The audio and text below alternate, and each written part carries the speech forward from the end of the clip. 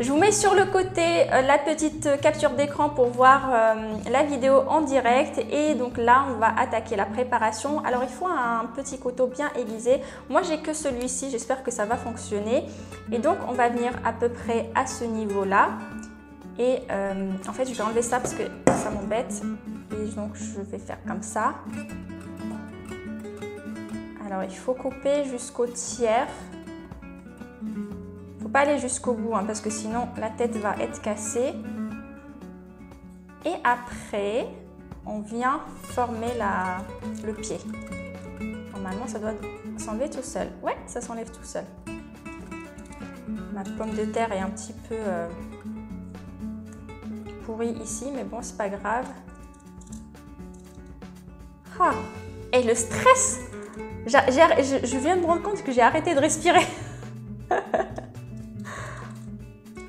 Olé Eh, trop cool Regardez-moi ça C'est trop cool J'ai juste enlevé la petite pointe parce qu'elle est un peu pourrie.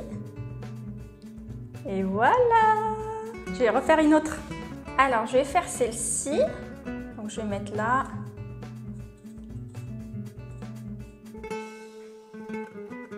Tac. Et c'est parti.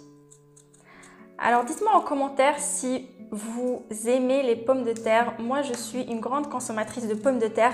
J'adore ça et je peux en manger en fait tous les jours sans problème. Mais vraiment tous les jours. Ça ne me dérange pas du tout. Et euh, ce que j'adore en fait, c'est... Euh, enfin, peu importe, de toute façon que ça soit à l'eau, à la vapeur, au four, à la poêle. J'adore ça. Et euh, mon plat vraiment préféré avec les pommes de terre... Alors...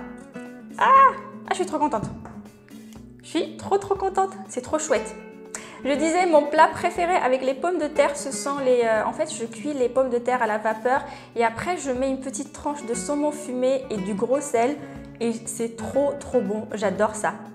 Et voilà mes petits champignons Et j'adore. Franchement, ça donne trop trop bien. J'adore ça. Alors, je trouve que là, été trop nette. Ça fait pas vraiment l'arrondi comme les, les champignons.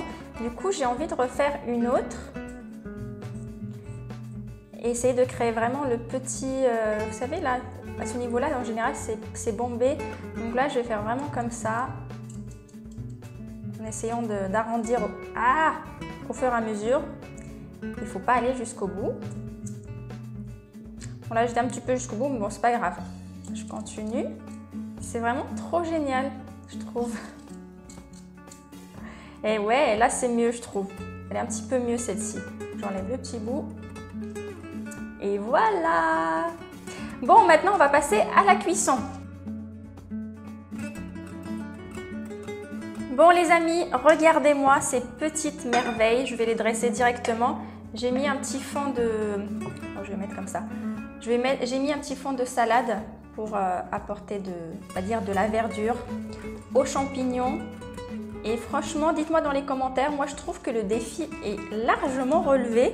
Alors si vous voulez voir le détail de la recette, je vous mets dans la barre d'infos le lien pour aller voir donc euh, la recette en entier pour du coup la cuisson et avoir cette jolie, euh, ce joli petit jardin bien, euh, bien coloré.